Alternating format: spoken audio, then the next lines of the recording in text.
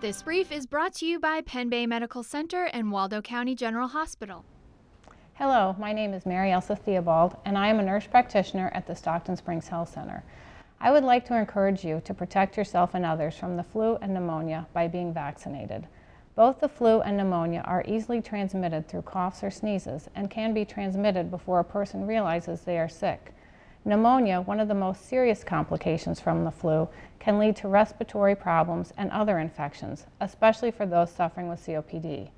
The CDC recommends receiving the flu shot as early in the fall as possible.